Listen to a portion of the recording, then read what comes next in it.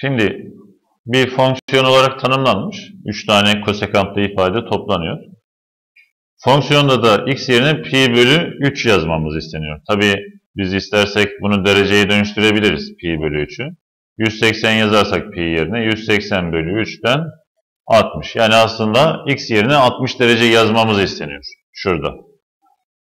Bu ifade şuna eşit olacak. Eşittir diyorum. Şu ifade 60 derece yazdığımızı düşünelim. Kosekant x yerine 60 derece yazıyorum. 60 artı burası şuraya 60 yazınca 120 yapacak. 2 tane 60'dan. Kosekant 120. Şurada da şunu tekrar yazayım. Şöyle paranteze alayım. Çok belli olmadı. Şöyle burası 120. Artı buradaki x'in yerine 60 yazarsak 240. O da kosekant 240. Şimdi biz kosekantı sinüse dönüştürebiliriz. 1 bölü sinüs gibi kabul edip işlem yapabiliriz. Yani şöyle ifade etmek mümkün. Bu ifade aslında 1 bölü sinüs 60. Buradan test alabilirsiniz. Artı 1 bölü sinüs 120 artı 1 bölü sinüs 240. Şimdi biz sinüs 60'ı hesaplayabiliriz dik üçgen üzerinden. Bir tane dik üçgen çizeriz. Şöyle. 30, 60, 90 üçgeni olacak şekilde. Şöyle 90. Burası 60. Şurası 30. 30'un karşısı 1. Hipotenüsü 2. 60'ın karşısı kök 3. Tabi biliyorsak çizmeye gerek yok. Bilmiyorsak yapacağız. Buradan biz 60'ın sinüsünü, 60 derece burası, sinüsünü karşı dik kenar bölü hipotenüsten sinüs 60 eşittir kök 3 bölü 2 diyebiliriz.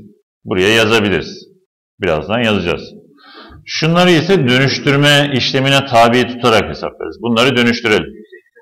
Bunları dönüştürelim. Şöyle eşittir diyorum. 1 bölü, şunu yazıyorum. En son hepsini birlikte yazarız. Sinüs 60 artı. Biz bunu istersek 90 üzerinden, istersek de 180 üzerinden dönüştürürüz. Ben 180 üzerinden yazacağım. Şunu.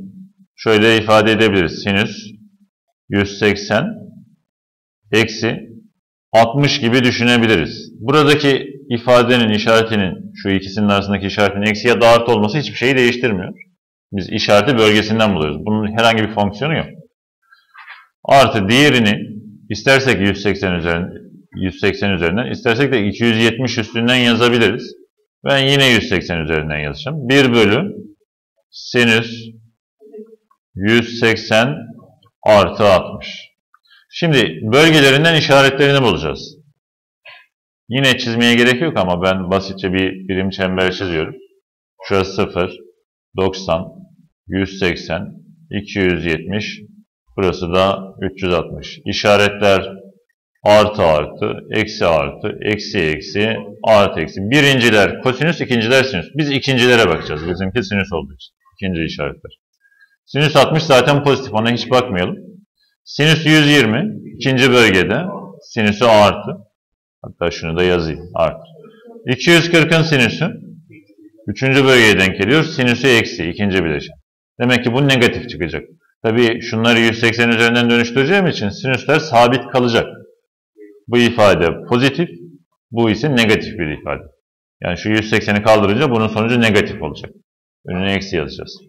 Dönüştürelim. Burası 1 bölü sinüs 60. Şunu kaldırınca buradaki 180'i bu sinüs 60'a dönüşecek. Şu eksinin herhangi bir fonksiyonu yok. İşaret bölgeden bulunur sadece. Bu araya bakmaya gerek yok. Burası 1 bölü sinüs 60 olur.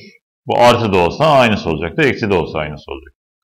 Sonra şurası dönüştürme işlemine tabi tutulunca burası eksi olacak. Önüne eksi yazıyorum o yüzden. Şöyle eksi. En başa alabiliriz. İstersek buraya koyarız eksiyi. İstersek yukarı, istersek kesin önüne.